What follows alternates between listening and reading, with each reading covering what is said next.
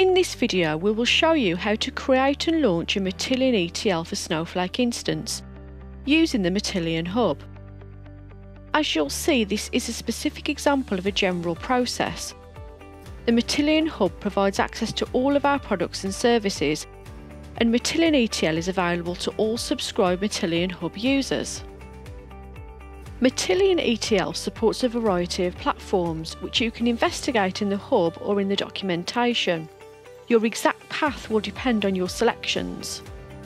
Launching your Matillion ETL instance is a simple and straightforward process consisting of two key stages. First, we will use the Matillion Hub to create an instance, and second, you will configure your instance in your chosen cloud provider console to launch it. As you can see from these flowcharts, all steps in the Matillion Hub are the same for every platform and warehouse. The later steps are specific to the cloud provider console you choose. Before we begin, it's worth understanding what resources you're expected to have ready. Matillion ETL is available through the hub, but is hosted on your cloud provider, which you must have an account for.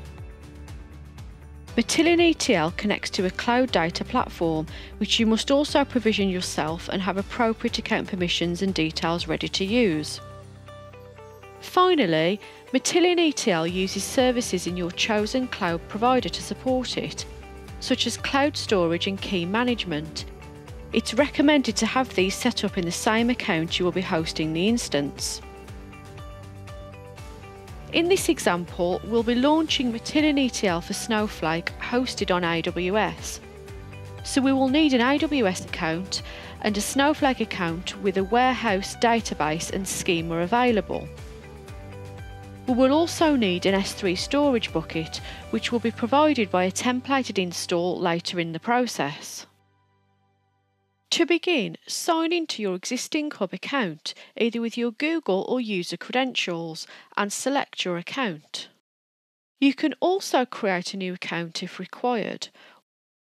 All of your launched instances are linked to your selected account, and only users of that account can view those instances. After selecting your account, you must choose a service.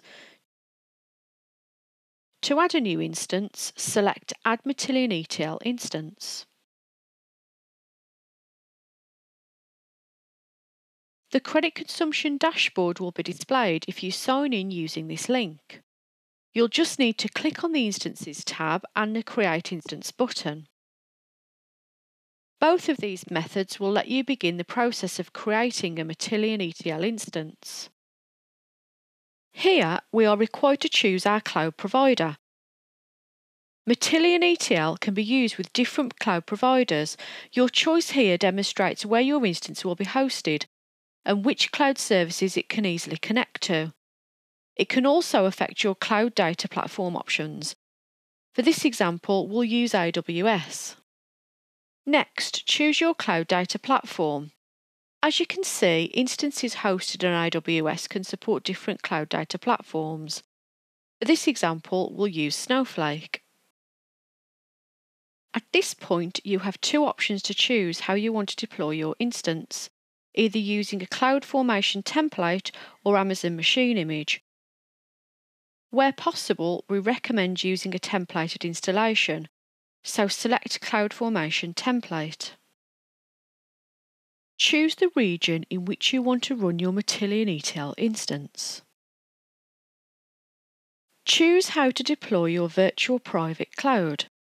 Select Deploy to an existing VPC in my AWS environment. You can also choose to set up a new VPC if required. As we're just getting started, we're going to choose Single Node as the recommended Matillion CloudFormation template Again, if you are looking for additional features, you can try some of the other suggested launch templates. Based on your selections, your CloudFormation template will be pre-populated for you to review in AWS. Click Continue in AWS. As mentioned previously, you will need an existing AWS user account to continue.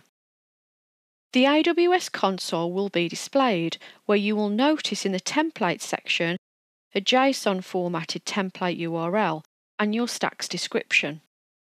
As you scroll down the page, you will be required to complete various fields in order to configure your stack. Some of these fields are pre-populated. Make your selections using the drop-down menus. Talk to your cloud administrator to make the best choices for your organisation. You will not be able to complete the process until you tick the Capabilities Acknowledgement.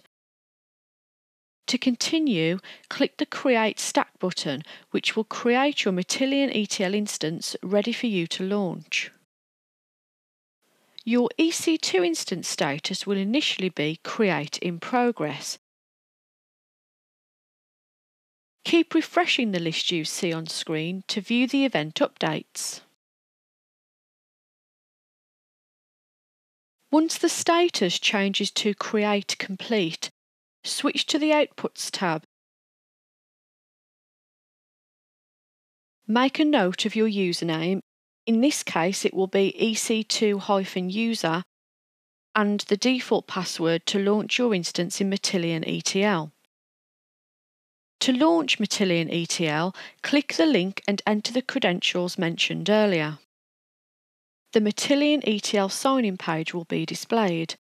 Enter your credentials and click Login. You are required to associate your instance with your Matillion Hub account before you can launch your instance for the first time. Your Matillion ETL instance will open and you will immediately see a pop-up window appear. Click Associate Instance. You'll revisit the Matillion Hub where you'll need to sign in sign into your existing account. If you have multiple accounts, then you will need to choose which account to link this instance to. Select your account. The Associate this instance to your account page will be displayed. Type an appropriate instance name in the field provided.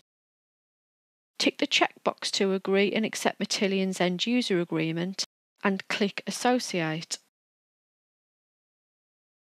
Click Launch Matillion ETL to confirm the association of your instance with your chosen account. If this is your account's first Matillion ETL instance association, then your 14 days free trial of Matillion ETL will begin. After associating and launching the instance, the final step is to set up your first project. This will take information for your chosen cloud data platform. You're now ready to transform your data using Matillion ETL. For full documentation on launching Matillion ETL instances, please visit the Matillion documentation site. And to keep up to date with the latest Matillion documentation videos, subscribe to the Matillion documentation channel.